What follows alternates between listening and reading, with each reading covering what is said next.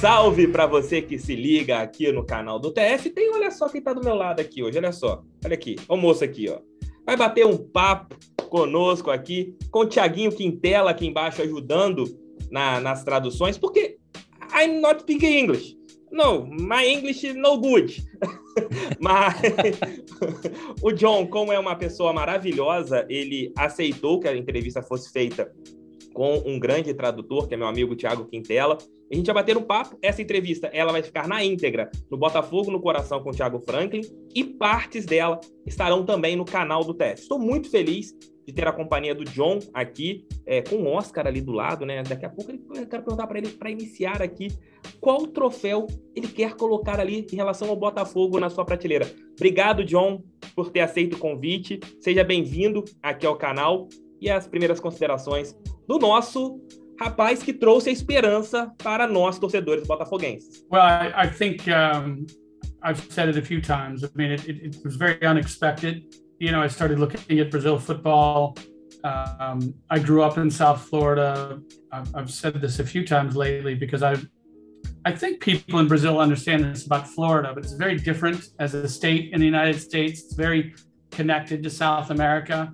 Um, and so growing up here, going to a big public school, you know, seeing many different, you know, cultures and subcultures coming out of South America, uh, race here, which is a very topical thing now, was not really anything you'd notice too much growing up in South Florida because people from Colombia, uh, Peru, Argentina, Brazil, Uruguay, I mean, this was your society when you're growing up in Florida. So um, you know, you didn't really see much of a difference. And so, as a soccer player, um, globally a football player, um, you know, I was one of the few gringos on the team, and um, you know, we had a great appreciation for the fact that people from South America often came, you know, with much more connection to soccer than we had up here in the United States, and so you had this respect uh, for the great, great teams and national teams of South America.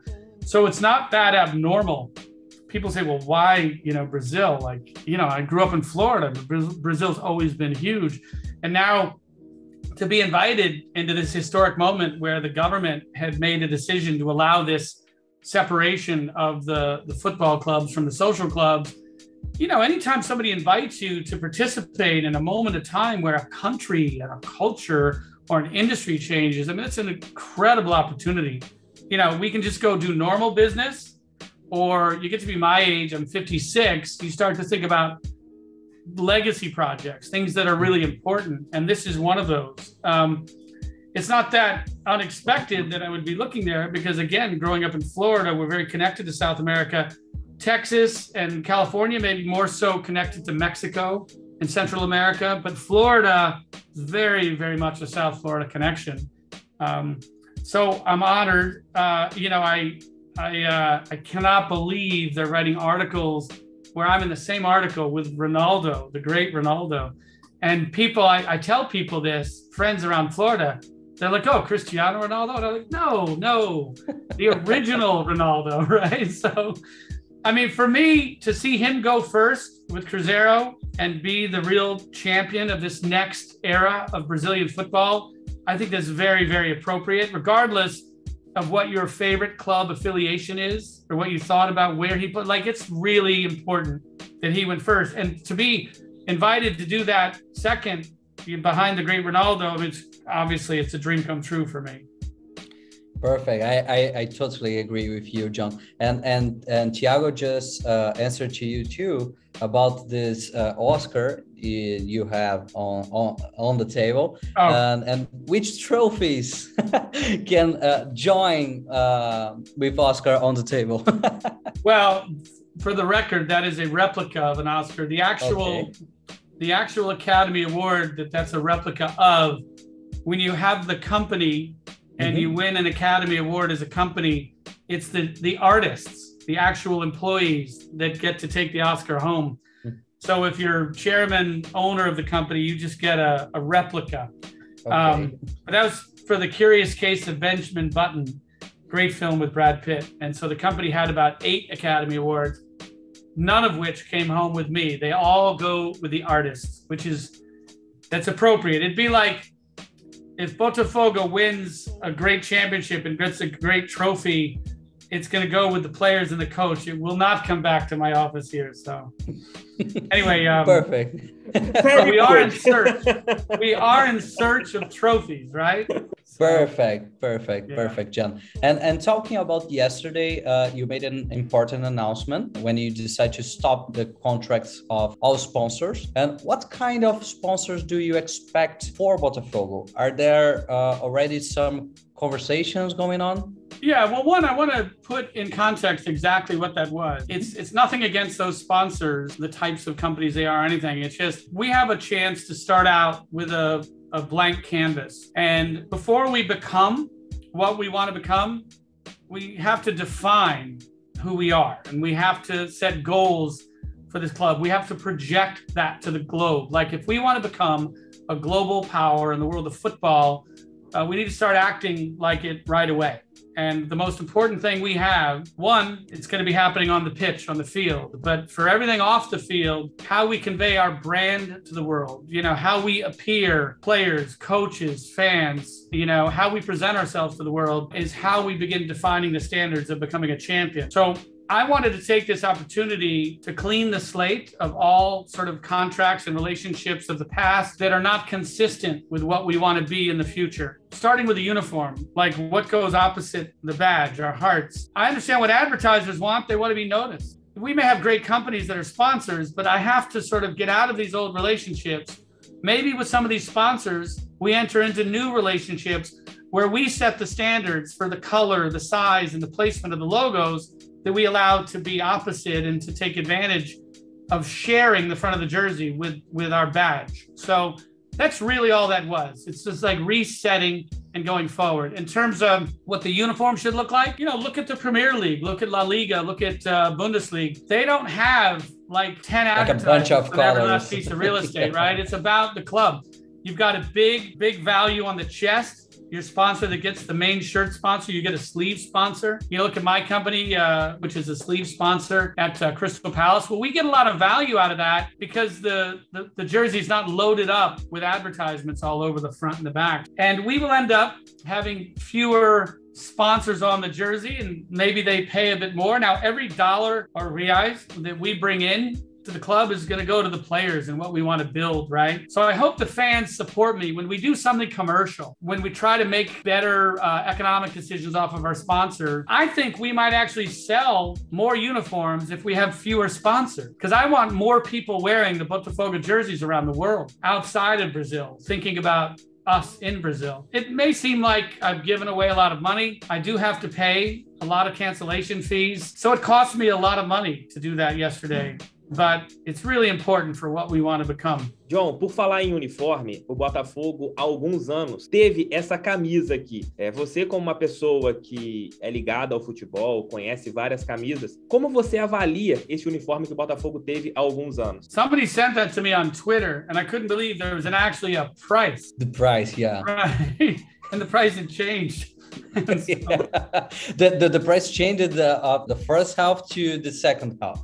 It's no, like yeah, yeah, yeah. Really, the team I swear going at halftime and change their jerseys. Yeah, yeah. that I think it was uh, our nightmare, like uh, yeah, yeah. wearing a, a Botafogo shirt. Look, you really you want to ask your sponsors to respect who you are and what you're trying to convey, and so you want to get logos where the color is if not white or black, it's with another color that works well with white or black. And we will ask our sponsors to conform to our standards, not the other way around. And we will not expect our players to be, you know, advertisements. We expect our players to be players. Até o brasileiro, você já espera, John, ter pelo menos um fornecedor de material esportivo na nova camisa do Botafogo? We don't have the urgency that other clubs have that I need the money in by a certain date. Um, you know, this first year is going to be very expensive just to transition. We want to put our money towards the squad. You know, we're looking at a number of situations in terms of the new uniform supplier. We want to get shirts available to the fans to wear. Bringing a whole new supplier in this late is going to be uh, difficult. So, you know, I do have relationships with some very big companies that will be given a chance to look at this. One of my partners, for example, owns uh, Reebok, and he's a shareholder in Eagle Football. One of my true true partners in football. So, you know, certainly I'm going to ask them what their thought is. They're not in the football business right now, but they're thinking of re-entering. So maybe they could do so with us. You know, Reebok was purchased from Adidas, so uh, our relationships uh, there are quite good. Same with uh, Nike and Puma and others. You know, it's uh, it's quite possible that my focus in the early going, yeah, we could end up doing our own thing, private label under the Botafogo brand until we find the right relationship going forward, and do some fun special edition kind of uh, shirts for the fans that people would enjoy. That are almost imagine that as a limited edition jersey that really reflects this moment in time when this transition into a new era began so we could have some fun with that, but I'm not going to rush a commercial decision because we need money to show up at a certain time. I'd be happy to see the entire team dressed in ballerina outfits if they just win a championship, right? I mean, it's about the football. It's not about anything else. And so we have to get that right first. We have to invest in the players, have to invest in the team, and yeah, we'll probably have identified our, our, you know, significant supplier, one of the big brands that fans will like. But if we identify them in time to avoid disruption of uh, shirts available for the fans at the beginning of the season, you know, that it's going to be difficult. We have a lot to do in February and March to get this done. It's very hard to do. But I wasn't given a chance to make this decision earlier you know, I was only given that chance to make that decision this week. And all the advice would be don't change. My God, the season's there on April 1st. And uh, I'm sure they're perfectly nice people there, but, but they didn't line up with our strategy going forward. And so I had to change, even if it means it will be late on some things as we start the season. John, é, o torcedor botafoguense, eu sei que acho que das um milhão de mensagens que você recebe nas redes sociais, 999.999 em relação às contratações. E você também fez algumas mudanças importantes dentro do departamento de futebol. Eduardo Freeland ganhou uma promoção, agora vai trabalhar numa área estratégica. Anderson Moreira é, acabou sendo demitido, o Botafogo busca um novo treinador. Eu gostaria de entender, John, essas mudanças. Qual é a sua visão em relação a esse Botafogo? Você concedeu uma entrevista ao, ao GE falando né, que você quer um, uma escola do Botafogo, desde a base, com jogadores sendo é, formados, um padrão tático já meio que é, é, vindo lá de trás, o Botafogo tendo essa, essa escola. E como você viu a chegada do Mazuco, do André Mazuco, e também do Anderson para ajudar ali no departamento de scouting, e também como que você planeja esse Botafogo já para a temporada de 2022. So, um, let me explain the football department. First of all, as I explain the football department, it, it I probably should first tr- touch on uh, Eduardo uh, Freeland. Mm-hmm. So, okay.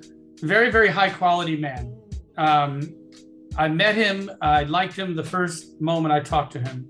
Um, you know, these sort of ridiculous stories about me being upset by a translator showing up at a meeting you know, what's Eduardo supposed to do? Of course, he needs to show up with a translator. I'm the American showing up in Brazil. I'm the one who doesn't speak the language, right? So, um, but the the conversations I had with him from the first day at training, when we were together on the field that day, to uh, we were at Andre Chame's house as well on an important day when we signed contracts. To follow up calls. To every time I've asked him a question uh, I get an answer. I get very good data back. I, I see a very, very good, uh, committed, uh, faithful employee to the organization.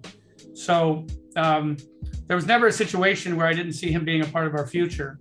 Um, I do think that his background, uh, his relationships, you know, fit very well to what I see as a global plan to build academies and to build relationships uh, around the world, starting in Brazil and starting in Florida with a Botafogo Academy in Florida that you know matches the standard that we see in in Europe. And so he's the right person for this job. There are many people that could fit the sporting director job, but given his relationships, his history, his origin in the youth academy, I had a very strong employee that I knew was right for this job. So hopefully working with the Moreira Salles brothers on some of the ideas they've had um, where Eduardo's relationships are very good there as well. Traveling as he is this week with me to London to sort of see the Crystal Palace facility and see other facilities. Um, he just was really the right person for this. And it's um, so that's the decision we made with Freeland. Uh, as far as the sporting director, you know, one thing that Eduardo doesn't really have are relationships that that are not only within Brazil but well beyond Brazil. And so the job of the sporting director, among many managing the football department and these types of things, is to be liked, well known, and well respected, well beyond Brazil. So he creates the broadest possible universe of player selection that we can get, where somebody look, the fans are very good at pointing out people that are available in the newspaper. And sometimes those are great decisions. But a sporting director who has a friend in the Red Bull organization that has a friend in Liverpool knows about a player that none of us even think about. And that's a much better decision than maybe the, the terrific uh, Oscar Romero or Elkeson, right? So the sporting director has to have those relationships. And I feel very comfortable, not with his wins and losses and his other clubs, but I feel comfortable with his relationships. He's a good critical thinker. The way he makes decisions, I think I like a lot. Um, but I'm not an owner that is, it's not a club association, a social association anymore, where maybe the guy you hire for sporting director has to have a perfect, undefeated track record, right? Well, that's, but if I'm involved directly, I don't, I care about all of his experience, you know, success and failure. Failure has been my greatest teacher, right? Show me somebody that's never failed, and I'll show you an idiot who just got lucky, right? So I think experience, the good and the bad of it, is what you you look for in a key employee. Now, he creates the universe of possibilities. Then Alessandro Brito is head of scouting, market intelligence, analysis, data, video. And it's great that he comes from an organization where they've been looking at top, top players as they built Atletico Mineiro to their championship. So who else do you want to come in and say, what do you know? Who do you have? Who's in Brazil? Who's available? Right. And as we bring this big universe of players that I'm helping to bring, that our friends at Crystal Palace are helping to bring, that uh, that, that Andre is helping to bring, well, Alessandro is going to have a really critical role in helping us make the right decisions, along with the coaching staff that comes in with a European construction and a style of play that I think has proven very, very successful around the world. The, the European game has evolved well beyond the Brazil game where the great talent and artistry and creativity of the Brazil players, you know, are very good when they plug in to these European systems. It's why Bayern Munich looks so good against Benfica, right? It's why teams with no talent that are playing in different countries in Eastern Europe are still incredible. The system, the way they spread the ball around and build from the back. Like, so this is um, this is why these decisions were made. In the case of Enderson, you have to be crazy to fire a coach with a 72% winning record unless the system that you are trying to build for long-standing success uh, is unlikely to be delivered through that particular coach. Now, anybody can hire Enderson, and they will, I assume, very quickly. He's a good man, a very talented man. And any coach with his capabilities can grab a bunch of players and make them play out of their minds and they can win. But we're not just looking for that. We're looking to build the Botafogo way. When people see us play, you know, they'll say, "Oh, I get it. I understand it." Like Barcelona plays their system, PSG, Manchester City. So in 5 years, 10 years, I want people to look at other teams and say, "Oh, you play like Botafogo." Like I want it to be understood from academy all the way through the system what we're trying to achieve. And I think this group of people is the right way to do that right now. You're building a new philosophy like that, right? I want to um, dominate possession. I want to demoralize opponents because they can press all they want. They don't get the ball. They get tired of pressing. They get tired of running after you because the ball is gone before they get there. I want to break them down systematically I watched uh, Benfica, uh, you know, Bayern, which I've talked about many times because I was there at the game, uh, the first leg of their UEFA group stage with them, and it was uh, it was beyond the group stage. It's I mean, it was only look. You saw in the first minute how the game was going to end. It wasn't if, but it was when they would break them down and destroy them. And the game was very close at halftime, and everybody in the stadium, everybody knew that it was only a matter of time before this machine of Bayern. Maybe their athletes were not superior, but their system was superior. Um, and uh, I would dream to be able to to see that at Botafogo. We will. John, é, John, em relação a técnico, Luiz Castro é o nome que o Botafogo gosta, que você gosta, no caso. É, a negociação como que anda? É o técnico que você acha que é o bom nome para conduzir esse processo? E outra pergunta, até mesmo para a gente entrar nessa, nessa esfera.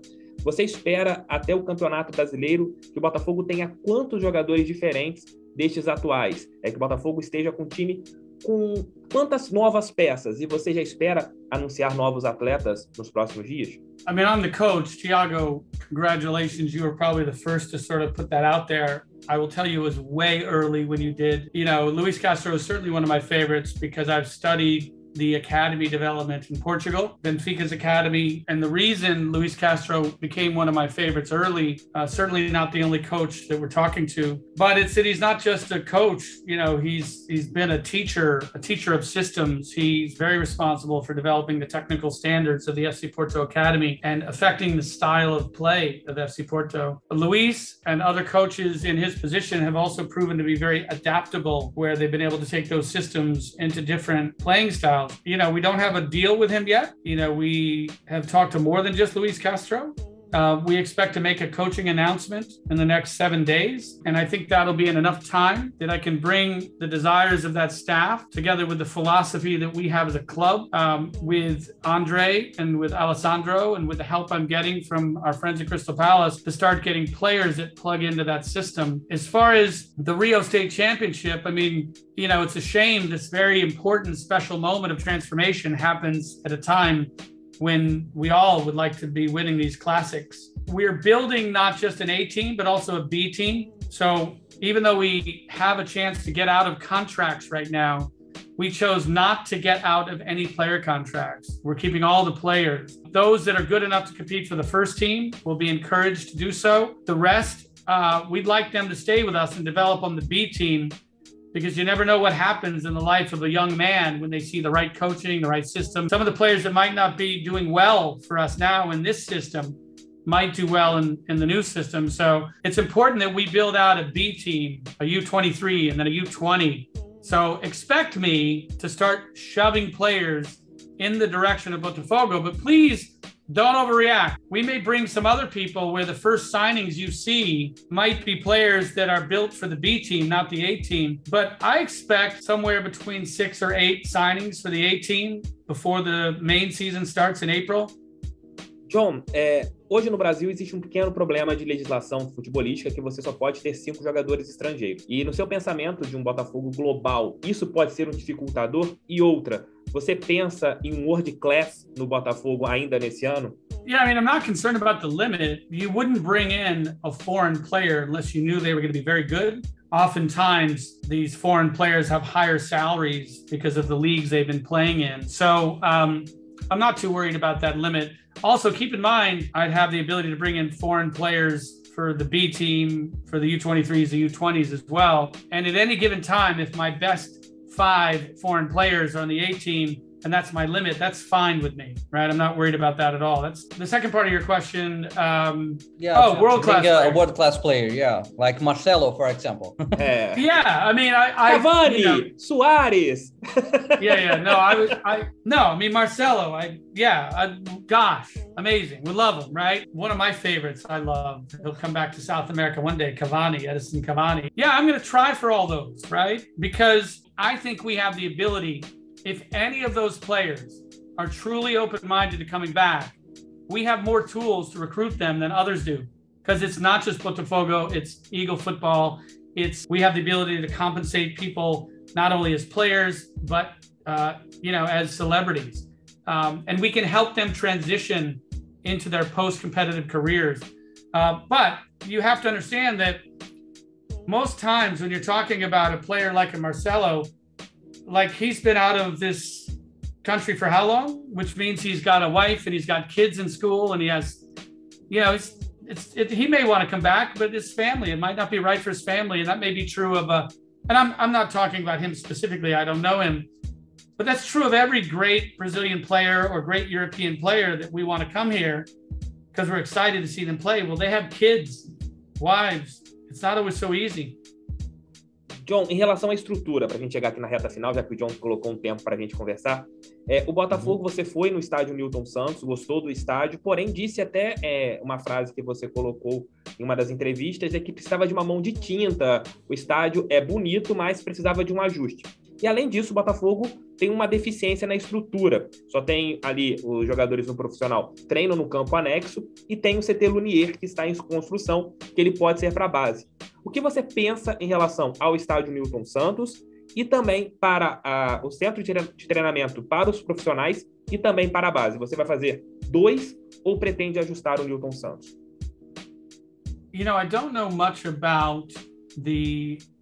I'll start with the training center first. I don't know much about the physical dimensions of it. You know, I was there.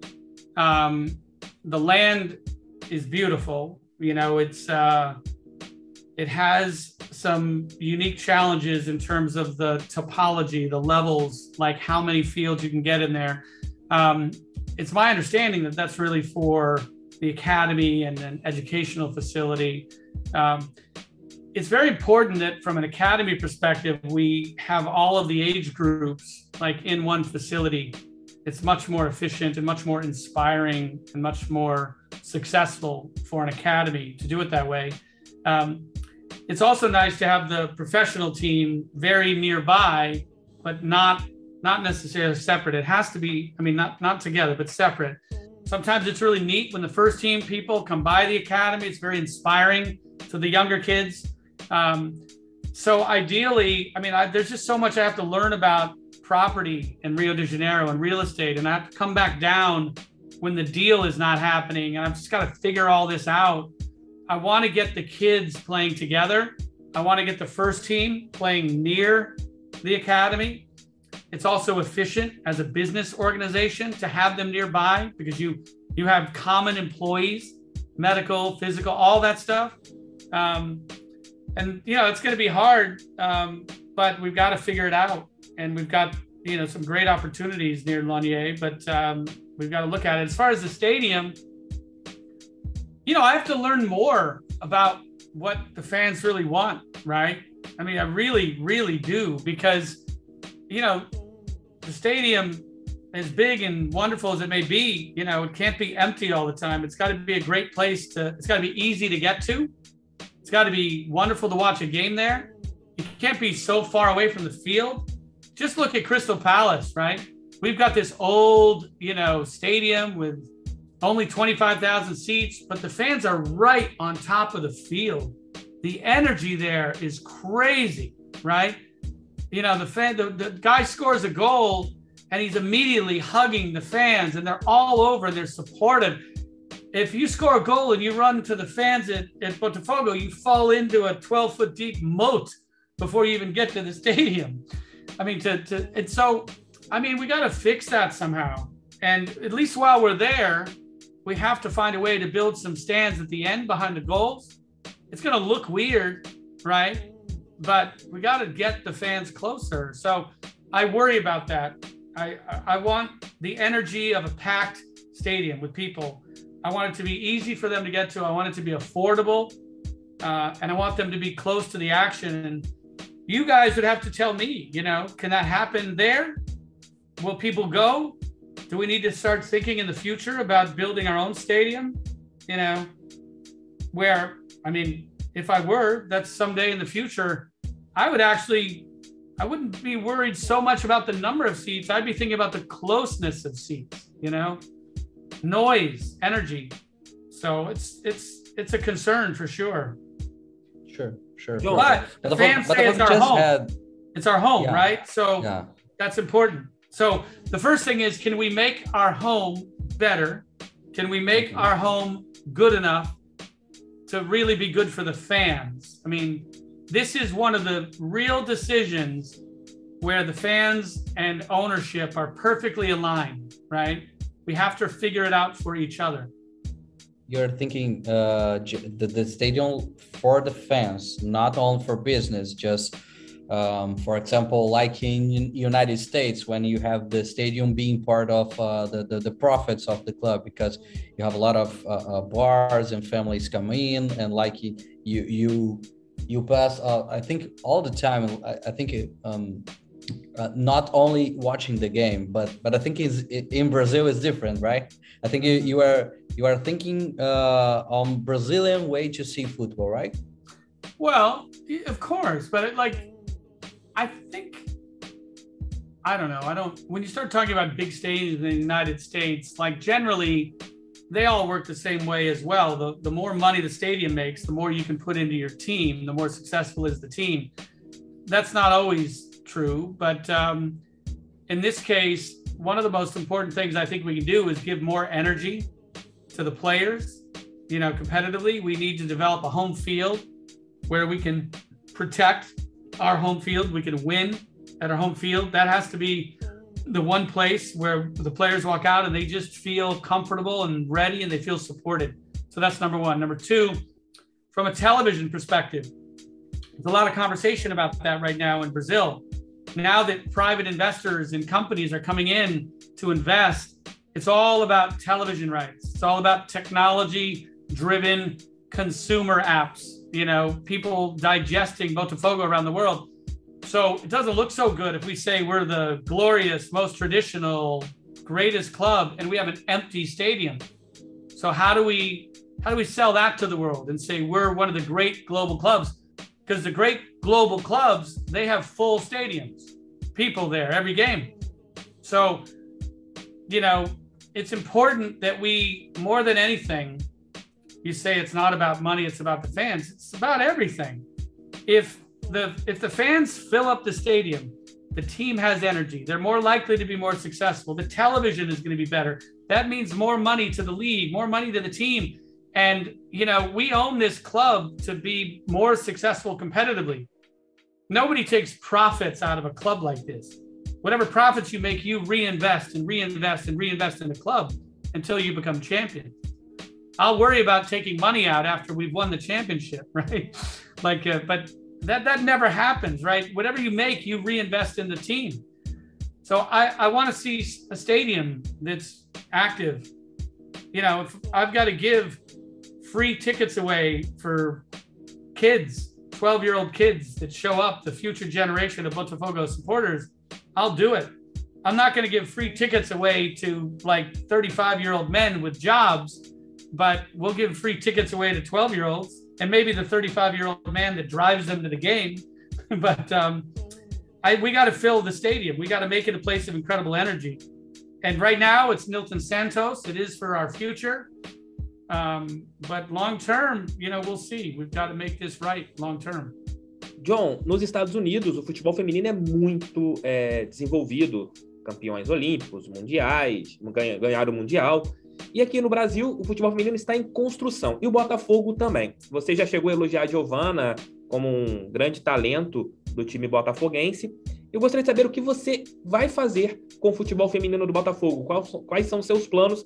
É de transformar também as meninas do Botafogo em exemplo, em exemplos para o mundo todo?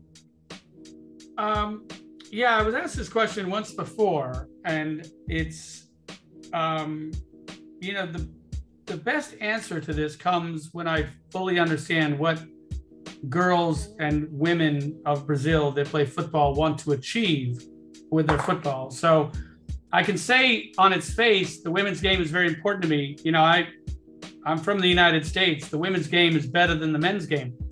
It has been for many, many years. The great memories of international play, it's not the men's team, it's the women's team. It's Mia Hamm playing against Marta right?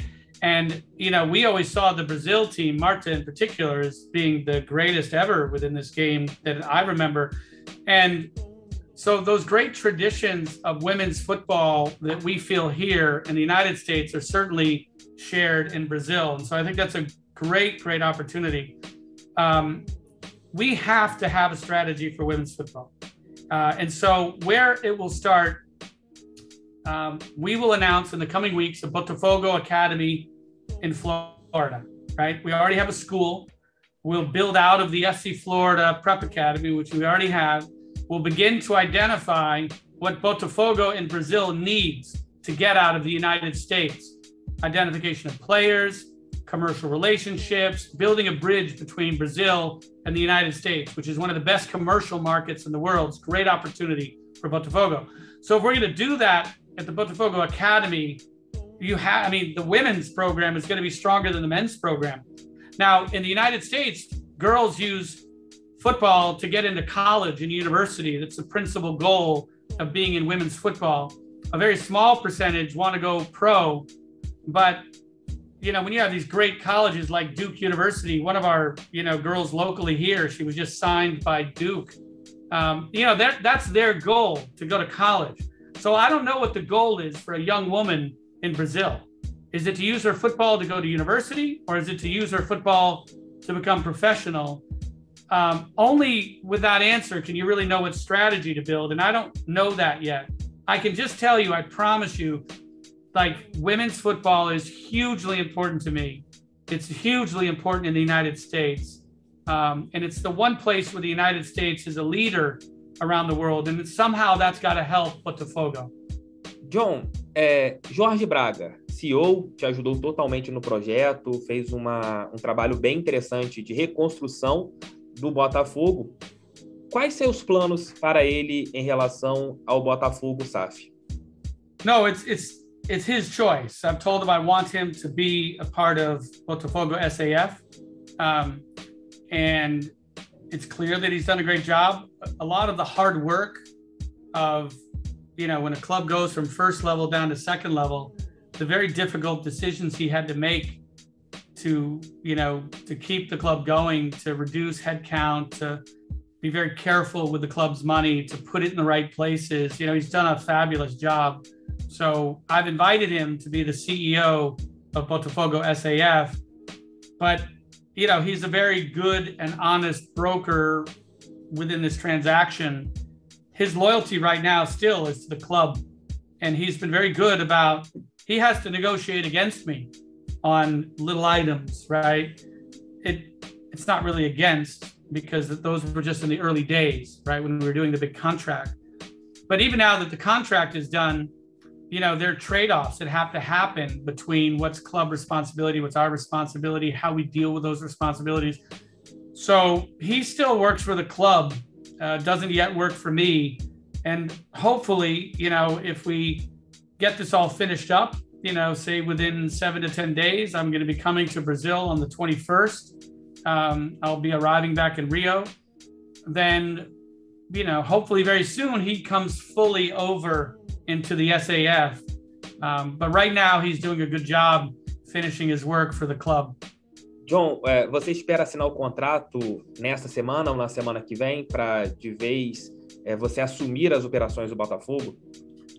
Uh, yeah, that's why I'm coming back to Brazil. I mean, the lawyers have a lot of work to do. Like most of the big agreements have been made, the business terms, but it's quite a complicated process setting up entities in Brazil. There are things that I have to do to be qualified, you know, to be able to invest in Brazil. And, you know, this it's statutory government kind of process, but we hope to be done, you know, early next week. Okay. Agora uma brincadeira com o John. John, você tem postado no Twitter, no teu site, no começo da madrugada.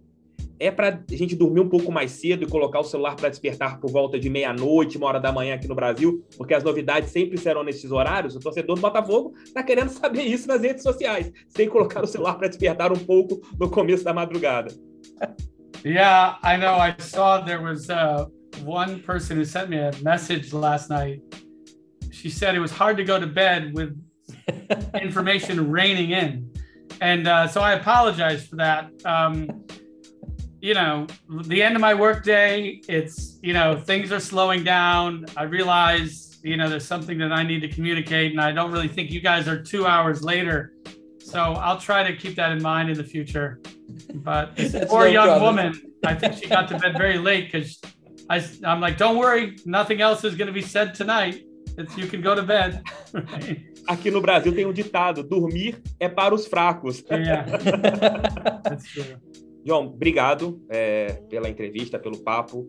Eu acho que foi mais do que uma entrevista, um papo entre pessoas que querem o bem do Botafogo. Você veio com essa visão, isso é muito importante.